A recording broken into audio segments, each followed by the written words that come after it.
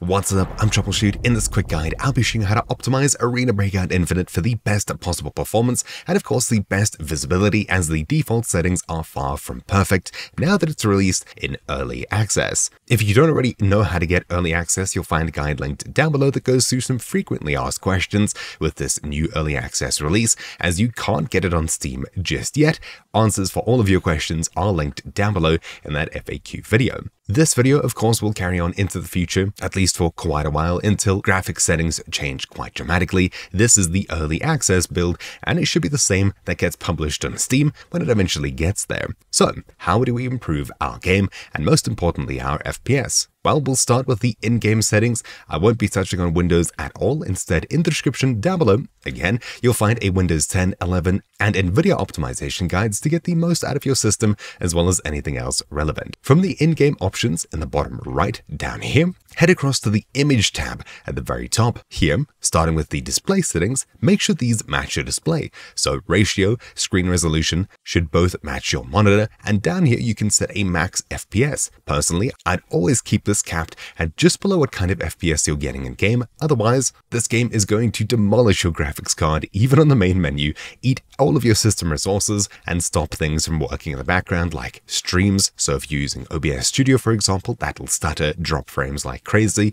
watching YouTube videos, even listening to music, things get super laggy in the background and it's super annoying, especially when games do this. So capping your FPS, at least for me, is a must in this game, but if you're going to be optimizing for the best possible performance, and you're only going to be playing the game and maybe using Discord, crank this all the way up to 240 for the best possible performance. I'll keep this at 144 for now. Screen mode should be full screen for the best possible performance, but windowed full screen is just as good, especially on Windows 11. Then, here is where we can get to fixing the blur that you can notice while you're playing the game. DLSS is upscaling. The game is rendering at a lower resolution and being cranked up using AI magic. This is great for performance, but higher FPS numbers does not always mean better especially in a Twitch shooter that requires you to see things in the distance, people hiding behind bushes and stuff like that. If there's any kind of blur or AI guessing that's put into the mix, it's going to become even harder than it should be for you. This is what I would recommend doing. For the overall quality, set this to high to begin with, and the resolution or sampling type should be set to close or close. This isn't exactly defined on what it is on the far right, but you can see we have TSR, FSR, and DLSS. If you need to use upscaling, only use FSR or DLSS. Don't use TSR, it's just a blurry mess. Close is what I'll be using, which should be close to native, I hope at least, which should give you much better resolution, clarity, and ability to see things into the distance. Especially the upscaling methods also add a ton of blur and weird smudging when you're looking around quickly. Trees and bushes have this weird trail behind them, but anyways, that's just upscaling. Moving down, VSync should definitely be turned off unless you're getting screen tearing.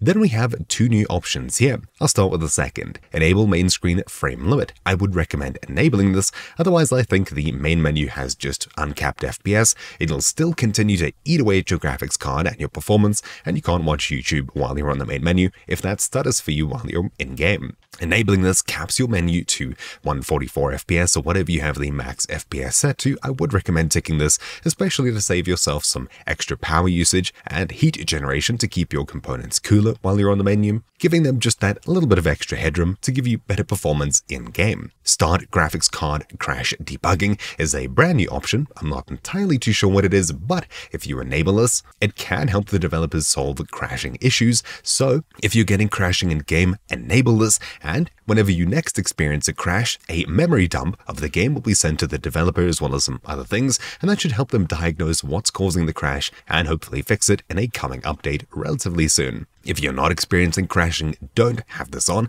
set this to off as you'll get better performance. Then scrolling down to these options here. Here is where we can get some major FPS, or at least on most systems. This game seems to be one of two polar opposites. Either your PC loves it and it works great, or your PC hates it and you're going to struggle no matter what, at least for now with this current optimization state. Changing your options here should get you some better performance, but it's not always guaranteed. First of all, resolution I would always recommend leaving as high, otherwise things are going to be blurry. This I would never change, always leave it at high, especially if you're playing on a native resolution over here by having it set to close for your resolution sampling or upscaling type. View distance should always be set to high to render things as far away as possible. This most likely affects trees and buildings and bushes and not so much people. They should be visible at all distances really. Having this set to high is the best thing you can do. Bushes and things like that seem to pop in between different LOD qualities, so they go from low quality to high quality and it looks like things are moving. Anyways, that's just a thing that the developers need to get to. View distance high should hopefully help mitigate some of that pop in as well. Anti-aliasing I'd recommend having set to low. You don't need smoother edges.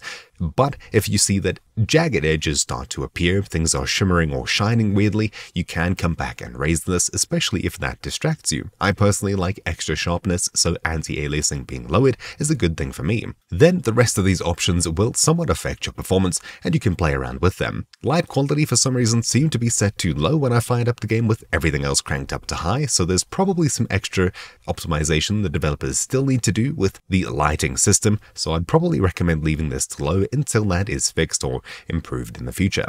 If you're going to be playing on a high-powered system, I'd recommend keeping most things higher up, which should give you better visibility in-game, but the things that I would lower would probably be shadow quality to medium, post-processing to medium, effect quality, vegetation quality, and shader quality all the way to medium as well, and this should give you a good boost in performance while keeping your vision as good as possible in-game. You can lower these all the way down to low as well, which should give you a little bit better performance. On top of that, if you're struggling to get better performance out of your system. The reason I've left texture quality as high is that most of the time when you have a lot of VRAM available on your graphics card, like 6 or so above gigabytes, you can keep most of the textures of the game loaded, meaning that that you don't need to load lower quality textures, as this won't affect your performance in the slightest unless it's too high for what your graphics card actually has. So if you're running a 4 gig GPU, set this to low, a 5 to 6 gig, set it to medium, anything above that, setting it to high, is probably more than good enough. Having this too low won't gain you any extra FPS, having it too high on a low-end system may cause you to drop a few FPS, so consider lowering this if you have a small amount of VRAM available or you're running programs in the background that are actively using your VRAM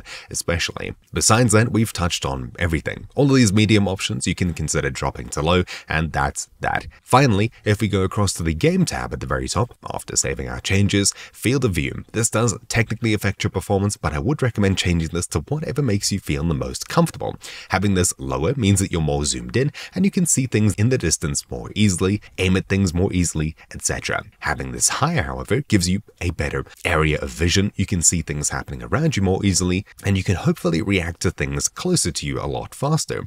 This is entirely your preference, and even though it does affect performance, set this to whatever feels best for you. Then everything else here is just entirely your preference, has no effect on performance in-game, except for the performance info at the very bottom. If you have this set to auto display, it'll only show your ping when it's an issue, it'll only show your FPS or packet loss when it's an issue, but you can set this to always show, so you always get these three blocks of information, which I would recommend if you're not comfortable hooking in a third-party performance overlay like Riva to see what kind of performance you're getting in-game. So with all of this being said and done, everything else here is fine. Spatial audio is your preference. You can play around with this to see whatever sounds better for you. The audio system still sounds a little bit weird to me at least. Looting sounds a bit weird and stuff like that. But anyways, audio is going to improve as the game goes on in its development cycle. We've covered everything we need to cover here. And with that, we're practically done with everything. So hopefully you found this video useful. Thank you for watching. And once again, if you're interested in playing and you're watching this video super close to its release, you'll find answers to all of your burning questions for Arena Breakout Infinite in the description down below in the linked FAQ video. Thank you all for watching, my name's been TroubleChute, and I'll see you all next time. Ciao!